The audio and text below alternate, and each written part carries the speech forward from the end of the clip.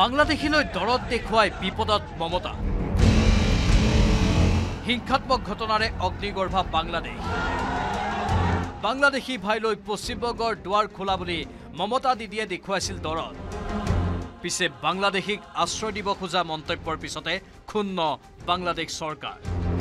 মমতাৰ মন্তব্যই বাংলাদেশত বিভ্ৰান্তিৰ সৃষ্টি কৰাৰ আশংকাত ক্ষুণ্ণ বাংলাদেশে ভাৰতলৈ পঠিয়ালে চিঠি। বাংলাদেশৰ বৈদেশিক মন্ত্ৰী হাছান মাহমুদে মমতাৰ মন্তব্যৰ আপত্তি দেখুৱাই ভাৰত চৰকাৰলৈ প্ৰেৰণ কৰিলে পত্ৰ। প্ৰতিবাদত চলি থকা ভাৰতৰ চুবুৰীয়া দেশখনলৈ দৰত দেখুৱাই দেওবাৰে পশ্চিমবংগৰ মুখ্যমন্ত্ৰী মমতা বেনাৰ্জীয়ে কৈছিল চুবুৰীয়া দেশখনত বিপদত পৰা লোকসকলৰ বাবে তেওঁৰ ৰাজ্যৰ দুৱাৰ মুকলি ৰাখিব আৰু তেওঁলোকক আশ্ৰয় প্ৰদান কৰিব। বাংলাদেশে নিয়ে যদি আপনাদেৰ কোনো পৰিবাৰ থাকে পরিজন থাকে, কেউ পড়াশোনা করতে যান, কেউ চিকিৎসা করতে এসে ফিরতে না পারেন, যদি কোনো সহযোগিতার দরকার হয়। আমি বাংলাদেশ নিয়ে কোনো কথা বলতে পারি না, কারণ ওরা, ওটা একটা আলাদা দেশ।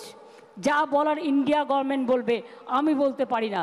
কিন্তু আমি এটুকু বলতে পারি, অসহায় মানুষ যদি বাংলায় দরজা খটখটানি করে, আমরা তাদের আশ্রয় নিশ্চয়ই দেবো।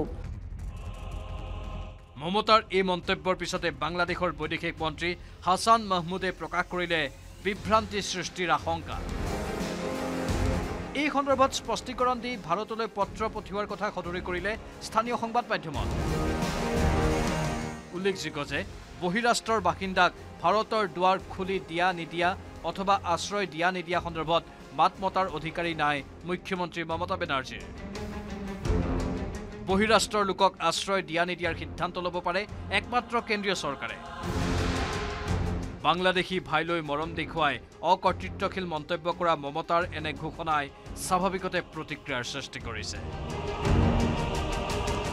Bureau' report news eighteen Assam north east.